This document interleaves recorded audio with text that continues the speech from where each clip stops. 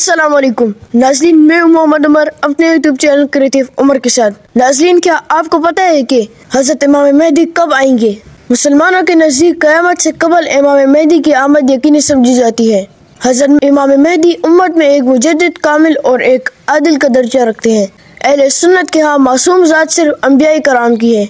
याद रहे कि ये अम्बिया कराम सलाम में से नहीं होंगे, बल्कि अल्लाह ताला के मुकरम व बरगजीदा बंदे होंगे। हज़रत इमाम मेहदी का नाम नामी मोहम्मद या अहमद है, जबकि मेहदी उनका नाम नहीं, लकब है। बमानी हिदायत या फतह, मुकम्मल अदब नाम के साथ लकब हज़रत इमाम मेहदी रिजवान है। उम्म फरमाती है कि मैंने रसूल करीम सल्लल्लाहु को ये फरमाते हुए सुना कि मेहदी मेरे खानदान में से फातिमा की औलाद से होंगे। हज़रत मेहदी का हलिया व सिफा अबू सईद खदरी फरमाते हैं कि रसूल करीम सल्लल्लाहु अलैहि वसल्लम ने फरमाया, हज़रत मेहदी मेरी औलाद में से होंगे। रोशन व कुशादा पिशानी और ऊँचे नाक वाले, वो रोए ज़मीन को अदल व इंसाफ से भर देंगे।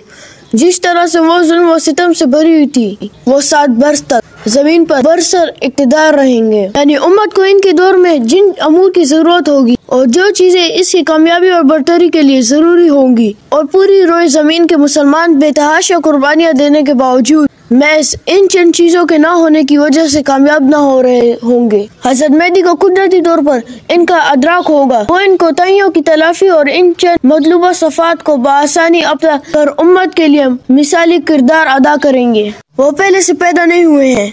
आम इंसानों की तरह पैदा होंगे। चालीस साल की उम्र में उम्मत मुसलमान इनको कायद बनाएगी।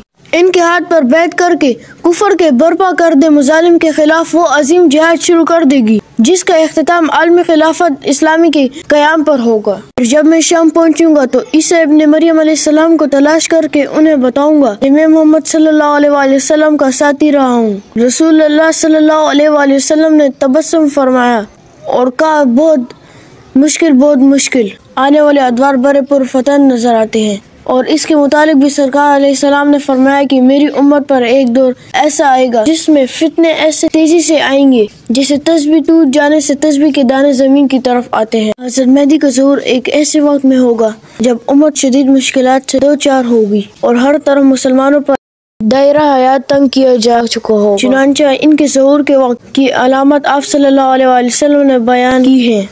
मुस्लिम ममालिक की इकतदी नाकाबंदी। जाबर अब्दुल्ला फरमाते हैं कि रसूल अल्लाह सल्लल्लाहु वसल्लम ने फरमाया, वो वक्त करीब है जब इराक वालों के पास रुपए और गला आने पर पाबंदी लगाई दी जाएगी। इनसे पूछा गया कि ये पाबंदी किसकी जानब से होगी? तो उन्होंने फरमाया अजबी और गैर अरब की जानब से। फिर कुछ देर खामोश रहने के बाद कहा कि वो वक्त करीब है कि जब अहल शाम की भी ये पाबंदी लगा दी जाएगी। पूछा गया कि ये रुकावट किस जानब से होगी? फरमाया, अहल रूम मुगरब वालों की जानब से। फिर फरमाया, रसूलुल्लाह सल्लल्लाहु अलैहि वसल्लम का इरशाद है कि मेरी उम्मत में एक खलीफा होगा जो लोगों को माल लब भर भर कर देगा और शुमार नहीं करेगा।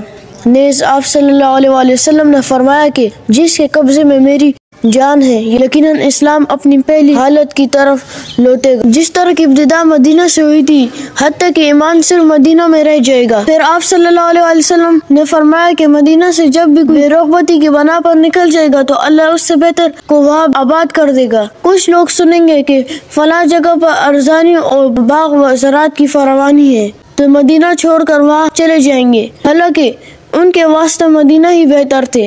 कि वो इस बात को जानते नहीं। हज़रत काब से रवायत है, उन्होंने फरमाया कि मशरकी समंदर दूर हो जाएगा और इस पर कोई कश्ती भी ना चल सकेगी। चुनाचे एक बस्ती वाले दूसरे बस्ती में न जा पाएँगे और ये जंग अजीम के वक्त में होगा और जंग अजीम हज़रत मेहदी के वक्त में होगी। मशरकी समंदर से यहाँ बैर आराम मुराद है। दूर होने का मतलब ये है कि इस तक पहुंचाना दुशवार हो जाएगा, जिसकी वजह से वहाँ आमदोरा बंद हो जाएगी। हज़रत मेहदी का जहूर मक्का मुकरमा से होगा और लोग रुकन व मकाम इब्राहिम के दरमियान में इनसे बैठ कर रहेंगे। हज़रत ईसा सलाम का जहूर होगा और वो हज़रत मेहदी सलाम के पीछे नमाज़ पढ़ेंगे। दजाल का कत्ल होगा और बैतुल मुकद्दस फतह होगा।